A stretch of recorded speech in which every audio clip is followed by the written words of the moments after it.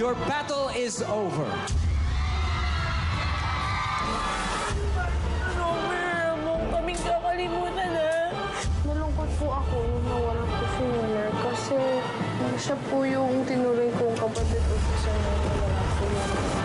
Sige po. Ah, mamaya po, ang kakantahin ko po ay Mashed Up ng Bulong by Kitchi Nadal and uh, Huling El Bimbo by Eraserheads. Kahit po busy siya, parang nakita ko naman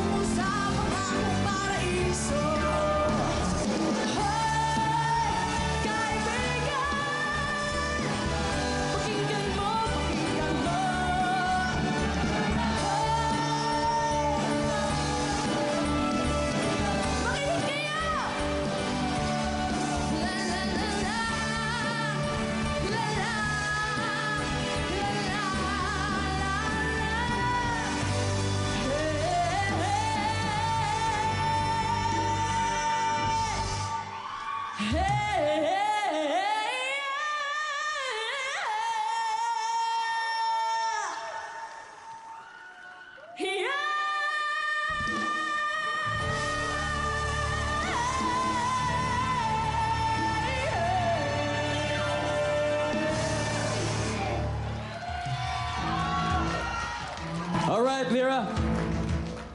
Miss Yula. Ah, Ding Dong, pwede Oh. bang bago mag-comment lang si... Miss you lang. Ah, yun pala. Kaya pala may pala.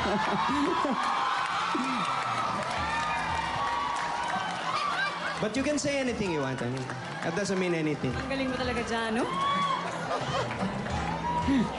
Okay, Miss Yula. eh. Lira, mas na-enjoy ko tong performance mo ngayon kaysa last week. Mas buo yung boses mo. Ah, kasi alam mo, meron kasi tayong kapag mabilis yung song, medyo nakakaligtaan nating, alam mo yun, yung i-sustain, yung note. Much better yung performance mo ngayon kaysa last Thank you po. Congratulations. Salamat, Miss Yula. Medyo masama pang pakiramdam nitong bata ngayon. Today. Tito Joey. Hindi, hindi, medyo may mga, ano, no, masama nga katawan eh. Pero maganda naman ugali niya. Okay na yun. tama.